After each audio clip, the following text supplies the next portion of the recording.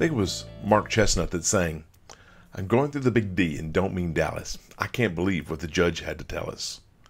I got the Jeep and she got the palace. I'm going through the big D and I don't mean Dallas. The whole song's about a broken relationship. He's only been married just a few months and now they're getting a divorce. Divorce is such a hard word. Divorce is such a hard thing.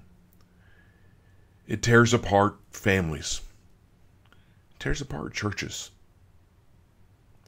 It hurts children. It hurts husbands. It hurts wives. It hurts in laws, grandparents, and aunts and uncles. It's not what God had designed. In fact, if I can preempt what I'm going to say and what we're going to read from Jesus, Satan, the devil, loves to divide. He loves to break up relationships. He did that in the very beginning between Adam and Eve and God. And that's what he's done throughout his career, if you will. And divorce is just one of the ways in which he tries to destroy relationships. Because if he can destroy our relationships here, he can get between us and God, and that is his ultimate goal. Now let's go to our text. Jesus is going to set a standard here. And it's one that the disciples are going to grasp. And I want to deal with this as gently as possible in the few minutes that we have together. Let's go to Matthew chapter 19, beginning at verse 1. Now it happened when Jesus had finished these words, he departed from Galilee and came to the region of Judea beyond the Jordan. And large crowds followed him, and he healed them there. And some of the Pharisees came to Jesus, testing him and saying, Again, the Pharisees are trying to challenge and get him, to say something that's going to upset the people or go against the law. So they ask, Is it lawful for a man to divorce his wife for any reason at all? Some suggest there was discussion among the, the leaders of the Jews at that time about when a man could ask for a divorce.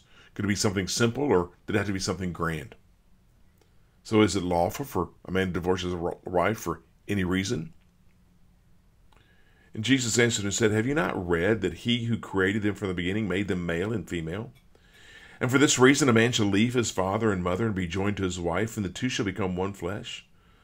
So they are no longer two, but one. What therefore God has joined together, let no man separate. Then they said to him, Why then did Moses give her a command, uh, give her command to give her a certificate of divorce and send her away? And he said, Because of your hardness of heart, Moses permitted you to divorce your wives, but from the beginning it has not been this way. And I say to you, whoever divorces his wife except for sexual immorality and marries another woman commits adultery. The disciples said to him, If the relationship of the man with his wife is like this, it is better to not marry. And he said, Not all men can accept this statement, but only those to whom it has been given. For there are eunuchs who are born that way from their mother's womb, and there are eunuchs who are made eunuchs by men, and there are also eunuchs who made themselves eunuchs for the sake of the kingdom of heaven. He who is able to accept this, let him accept it. And the Pharisees are trying to to get Jesus to say something that's going to turn the crowds against him. Trying to get him to say something that's going to cause a division. But Jesus just answers with simple truth. When God designed marriage, and God designed marriage in the very beginning with Adam and Eve, God's plan is one man and one woman for life. Anything other than that is violating God's plan. So they, Jesus then says, well, then why did the, the disciples then, excuse me, the Pharisees then say, why did Moses allow for it then? And Jesus said, well, you were going to do it. So Moses allowed it to protect the women. But that's not the way God planned it. God's plan is one man and one woman for life. So if you want to do this right, with the exception of the other person committing adultery, you stay married. you don't divorce. Because that's not God's plan. You say, Scott, that's very hard to say that. How do you get that from that? I get that because of what the disciples say. The disciples' response says they get it. Lord, if that's the way it's supposed to be, it's probably better that we don't get married. If you got to stay with that one person, and then it's best to stay single. Jesus' answer is, well, yes. Not everybody can accept this. There are people who have who won't marry for different reasons. One of those reasons is the kingdom of God.